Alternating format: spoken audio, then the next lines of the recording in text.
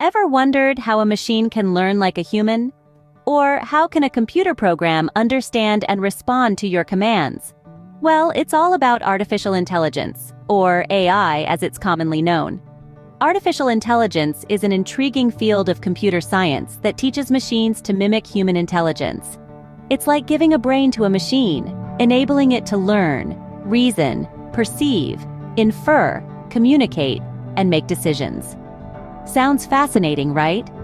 But how does it really work? Let's think about it this way. Imagine a toddler learning new things. They observe, understand, and then react. That's exactly how AI works.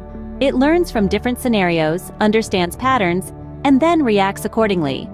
Now, there are two types of AI, narrow AI, which is designed to perform a narrow task such as voice recognition, and general AI, which can perform any intellectual task that a human being can.